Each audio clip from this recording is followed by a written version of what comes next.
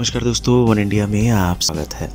IPL 2020 को लेकर तमाम तैयारियाँ अपने अंतिम दौर में हैं। सभी टीमें इसी महीने में यूएई के लिए रवाना हो जाएँगी। लेकिन उससे पहले सभी खिलाड़ियों और सपोर्ट स्टाफ का कोरोना टेस्ट कराया जा रहा है। आपको बता दें, यूएई पहुंचकर भी सभी का कोरोना टेस्ट दोबारा कराया जाएगा।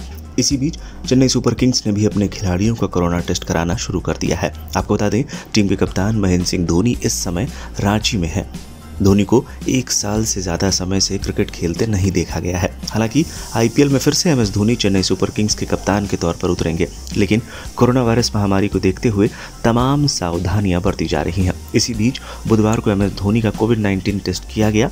गुरुनानक अस्पताल की मेडिकल टीम ने उनके घर पहुंचकर कोरोना वायरस की जाँच के लिए सैंपल लिया। धोनी के कोविड 19 टेस्ट की रिपोर्ट गुरुवार तक आ सकती है।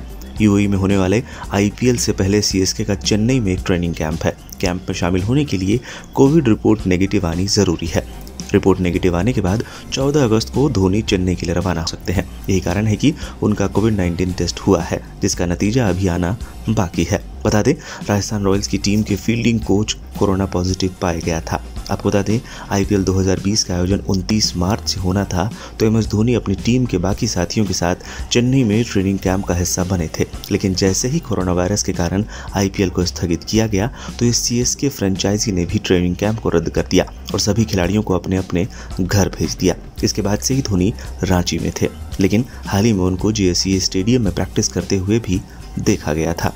फ़िलहाल के लिए इस वीडियो में इतना ही। ऐसे ही तमाम स्पोर्ट्स अपडेट्स के लिए बने रहें वन इंडिया के साथ।